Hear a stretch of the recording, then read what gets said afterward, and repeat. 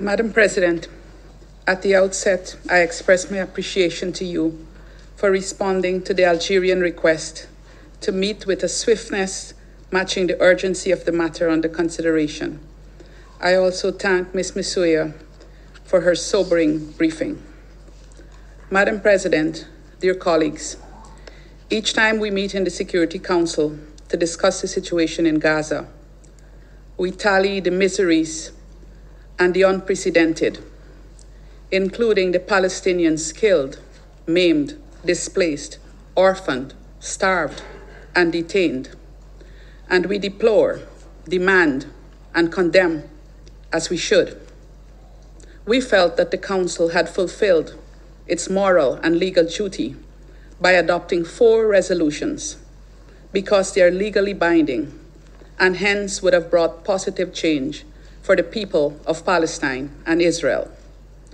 We supported all efforts toward a deal, hoping that we will have a ceasefire, release of the hostages and Palestinians illegally detained, and a renewed hope, a renewed hope for Palestinians, even in this darkest of times.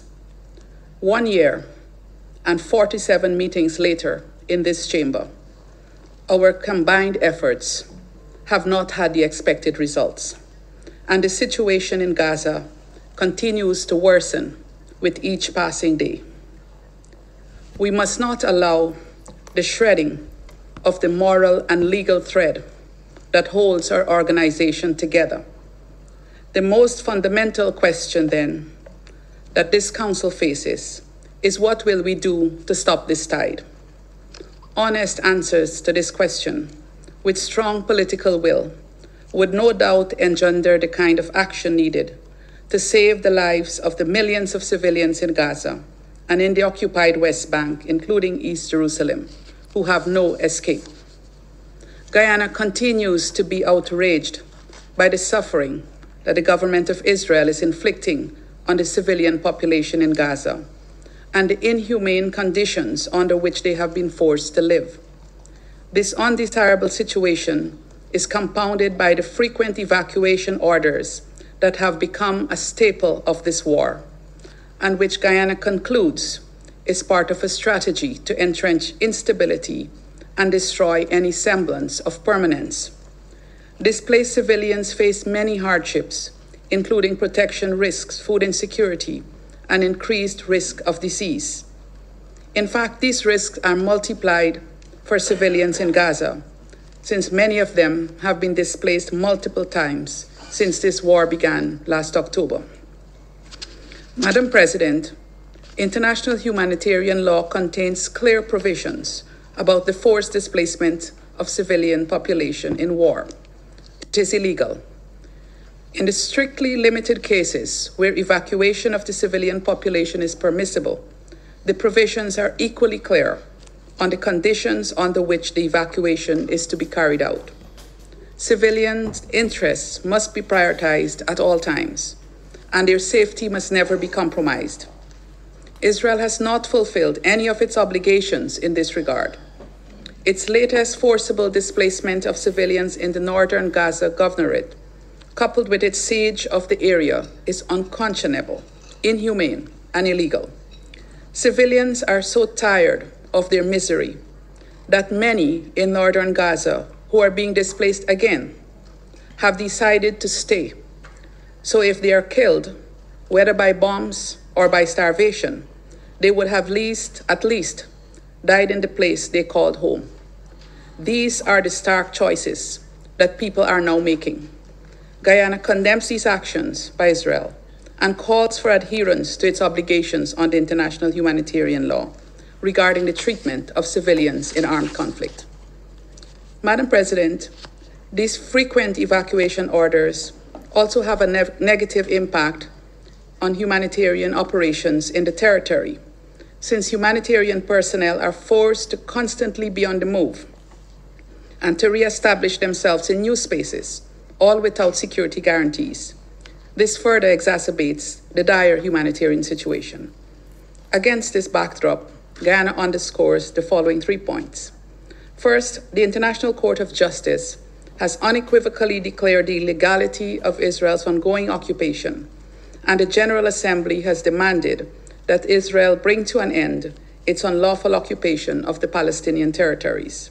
It is therefore illegal for the Israeli government to move to annex territory in the Gaza Strip. Guyana condemns Israel's actions in this regard. Second, there is a veritable genocide taking place in Gaza. The International Court of Justice ordered Israel to take actions to prevent genocide in Gaza in accordance with that member state's obligations under the Geneva Conventions. Israel, however, continues to blatant dis- blatantly disregard the ICJ's orders. In this circumstance, consideration must be given to how the Council could facilitate implementation of the ICJ orders. The floodgates have already opened in Gaza, and this Council must agree to pull the plug and stand up for Palestinians. Third, this Council has the mandate and responsibility for the maintenance of international peace and security.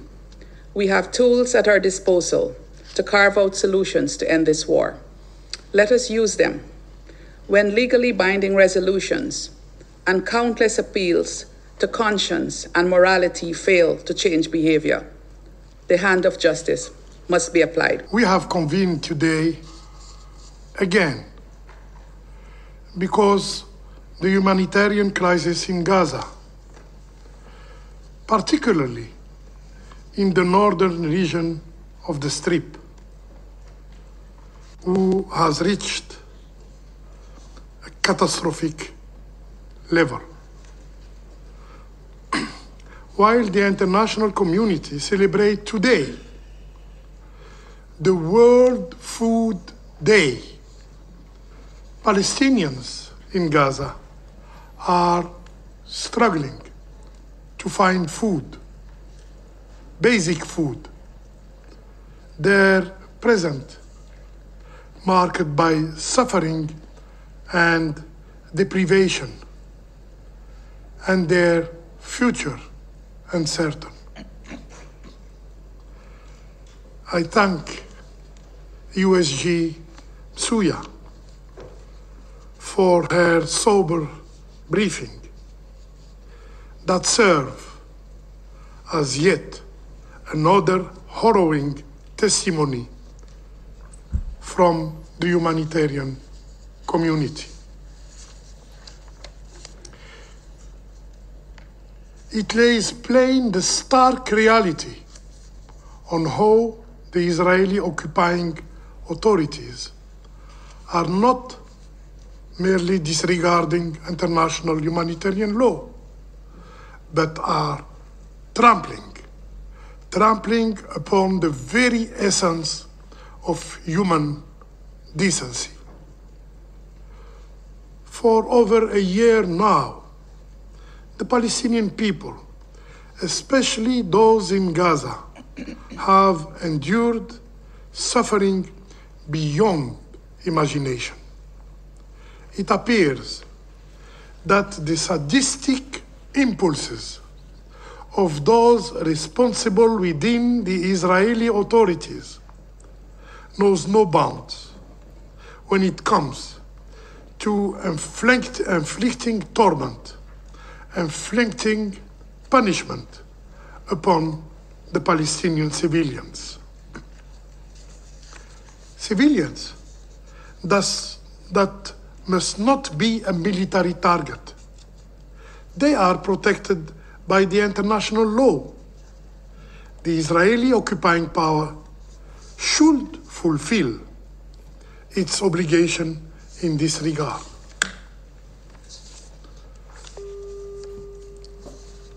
Especially the starvation of civilians as a method of warfare is explicitly prohibited under international humanitarian law. This prohibition extends to depriving civilians of object necessary for survival and impeding relief supply. Surprisingly, the second vaccination campaign that commenced on October 14 reached more than 157 children on its first two day alone.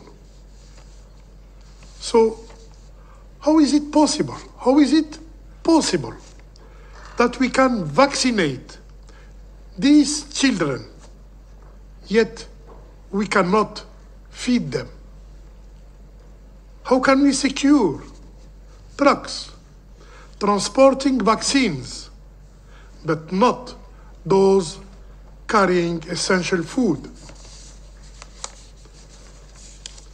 The inevitable conclusion is that this is not this is not a collateral damage, but a deliberate, calculated Israeli policy of starvation of the Palestinian people. Madam President, the International Court of Justice, in its provisional measures, ordered Israel, the occupying power, to, and I quote, take immediate and effective measures to enable the provision of urgently needed basic services and humanitarian assistance to address the adverse conditions of life faced by Palestinians in the Gaza Strip. End of quote. This Council, through Resolution 2728, explicitly reiterate its demand its demand for the lifting of all barriers to the provision of humanitarian assistance at scales. The response from the Israeli occupying power has been nothing, nothing short of disdainful. Closure of crossing point, increasing restriction on access, and the immoral use, immoral use of starvation as a method of warfare. When we last convened on October 9th, last week, we raised alarms about the state of humanitarian assistance, noting that September, this last month of September, saw the lowest levels of aid since October of the previous year. We then expressed grave concern over the behavior of the Israeli occupying authorities who denied or impeded nearly 90%, 80% of humanitarian movement between northern and southern Gaza in September. The response of the Israeli authority to our concern more restriction, more killing of Palestinian civilians. Yesterday alone, 68 of them. In the past week alone, mere six trucks, six trucks per day have been permitted to enter Gaza.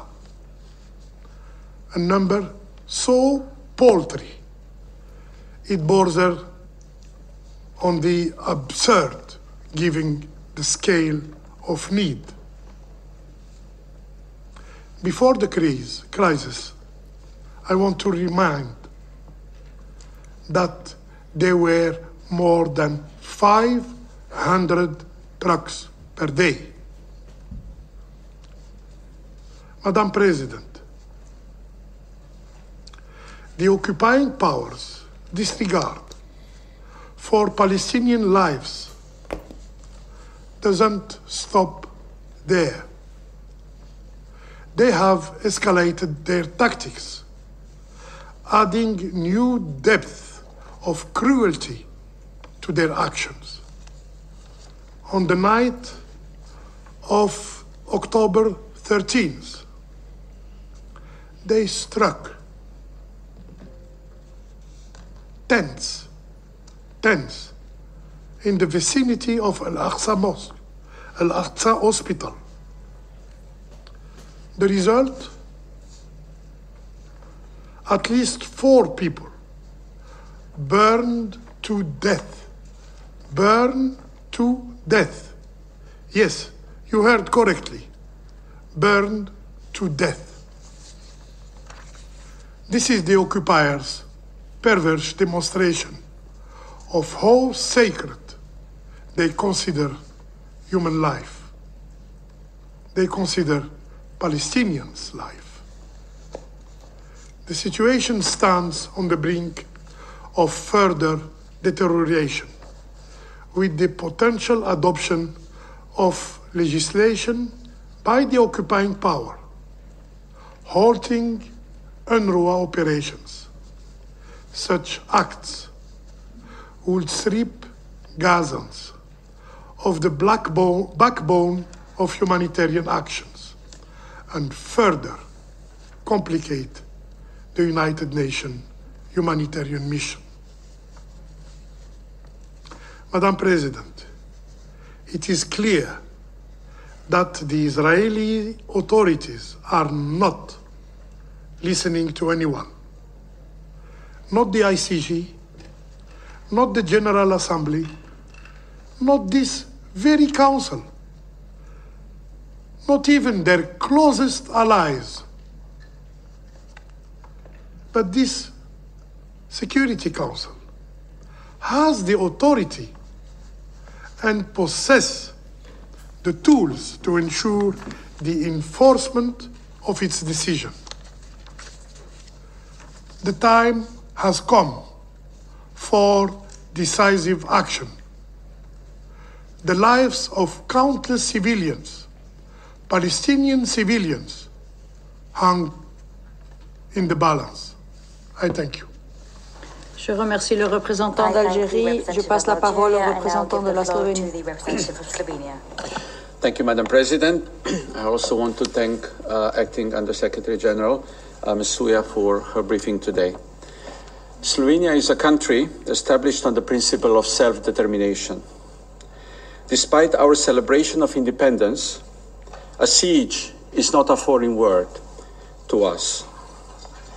Our capital was under siege during the Second World War for three years.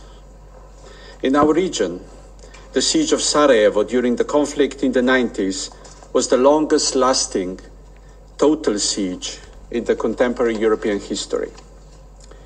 We can associate with the siege and indiscriminate bombing and people being killed in line for food or population without food, medicine, gas, electricity, and water population deprived of human dignity. Back then, we declared never again. A siege is not a foreign word to Palestinians. Gaza has been not only under occupation, but under a siege for years, for decades.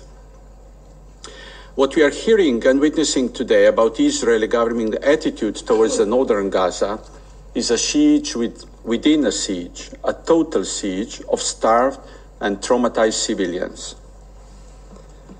Colleagues, this council has met many times. With a number of meetings we had, Slovenia avoids repeating what our briefers share with us. So today I want to be clear with our messages. We call for an immediate ceasefire. We call for immediate release of hostages. We call for lifting of all barriers to delivery of humanitarian assistance to Gaza. We call for basic humanitarian aid, food, water, fuel, medicine, hygiene material, basic things to be delivered at scale. We call for urgent delivery of winter supplies, again, basic items like proper shelters, warm clothes, and blankets. We call for immediate restoration of food systems and basic services. We call for opening all available routes to and throughout the entire Gaza Strip, including of border crossings to provide humanitarian assistance to all those in need. We call for immediate and sustained access of UN missions to the north. We call for protection of civilians and civilian infrastructure, schools, displacement sites, and healthcare facilities. We call for an end to attacks on healthcare and for addressing critical shortages of essential medicines and equipment. We call for an end to forced displacement, including through evacuation orders. We call for special protection to be granted to women, children, persons with disabilities, older persons, and other persons in vulnerable situations. We call for a fully functioning deconfliction mechanism to ensure safety and humanitarian operations. We call for protection of humanitarian and health workers, including with access to appropriate protection equipment. We call for safety, security, and respect of United Nations, its personnel, and its premises. We call for withdrawal of legislation of UNRWA which would collapse humanitarian operations in Palestine. We call for respect of international law, particularly international humanitarian law and human rights law. We call for full implementation of Security Council resolutions and ICJ provisional orders which are binding and must be implemented. We call for end of impunity. We call for accountability. We call for security of Israelis and Palestinians. We call for resumption of a meaningful and time-bound political process leading to two-state solution. We call for upholding of the UN Charter, also by this Council. We call for peace. So, colleagues, we will not forget Gaza, and we will not lose hope for this Council to speak with one voice. Thank you.